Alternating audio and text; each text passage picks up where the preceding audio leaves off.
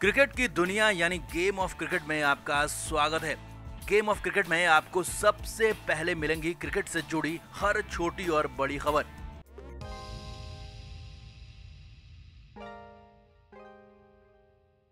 भारतीय पूर्व ऑलराउंडर युवराज सिंह चौतरफा घिरे हुए हैं। युजवेंद्र चहल पर की गई जाति सूचक टिप्पणी को लेकर युवराज को हर तरफ़ से फटकार पड़ रही है।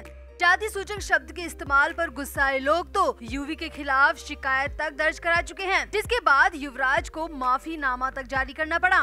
अब यूवी की गाली पर पहली बार खुद युजवेंद्र चहल ने भी अपना मुँह खोला है, और पहली बार युजवेंद्र चहल काफ़ी गुस्से में दिखे, और उन्होंने इसी गुस्से में बहुत बड़ी बात भी कह दी। तो हाल ही में रोहित शर्मा के साथ इंस्टाग्राम लाइव चैट के दौरान युवराज सिंह ने एक ऐसे शब्द का इस्तेमाल किया जो कि एक समाज विशेष के लोगों को नागवार गुजरा। रोहित से बात करते हुए युवी ने ये शब्द युजवेंद्र चहल के लिए कहा। जाति सूचक शब्द के यूज़ सरेआम इस्तेमाल करने से लोग भड़क गए और युवराज के खिलाफ शिकायत दर्ज करा दी गई। अब इस मामले पर युजवेंद्र चहल का बयान सामने आया है और चहल ने उम्मीद से ज़्यादा बोल दिया। एक वेबसाइट को दिए इंटरव्यू में चहल ने कहा, पता नहीं क्यों बेमतलब का हंगामा काटा जा रहा है।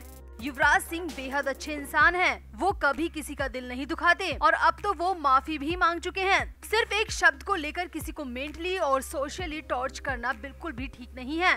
चहल ने आगे कहा, उन्होंने मेरे लिए इस शब्द का इस्तेमाल किया, लेकिन मुझे कतई भी बुरा नहीं लगा, क्योंकि कभी कभार बातों बातों में ऐसा हो जाता है, जिसमें बिना सोचे कुछ मुँह से निकल पड़ता है। चहल ने कहा, मैं भी यूवी पाजी की तरफ़ से माफ़ी माँगता हूँ। अगर किसी का दिल दुखा है तो मैं माफ़ी मांगने को पूरी तरह तैयार हूँ। वैसे वाकई में चहल का भले ही कोई कितना भी मज़ाक उड़ाए, मगर चहल जितना कमाल गेंद के साथ करते हैं, उतना ही धमाल उन्होंने अपनी महान सोच से कर दिया।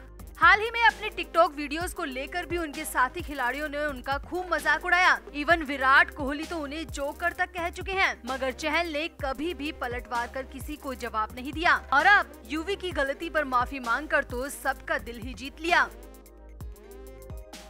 क्रिकेट के हर नए अपडेट के लिए गेम ऑफ़ क्रिकेट को सब्सक्राइब करें और उसके बाद बेल आइकन को प्रेस करना ना भूलें, ताकि सिर्फ़ आपको मिले गेम ऑफ़ क्रिकेट की हर खबर सबसे पहले।